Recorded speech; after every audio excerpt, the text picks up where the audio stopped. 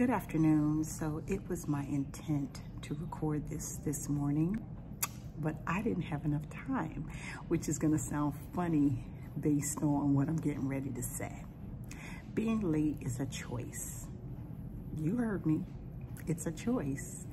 Nothing forces us to be late. We're late because of the choices that we make.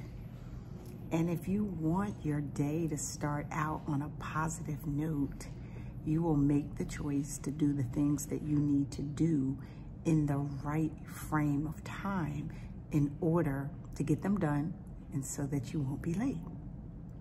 Don't blame mornings on you being late. Mornings come every day, the same time at sunrise. And um, it is your responsibility to do the things that you need to do either early enough or the night before so that you're not late. Please don't blame anyone for your, your choices.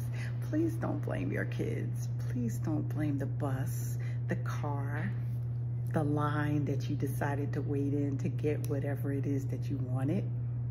It's you. I understand. I'm that person sometimes too. However, we have made a choice to do better. We're not going to be late. And here's why. There's no judgment here. It's all love.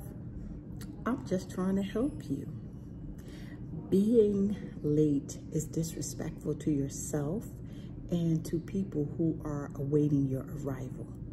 The world needs you to be on time so that you can do the things that you need to do. So, I'm actually not late with this message.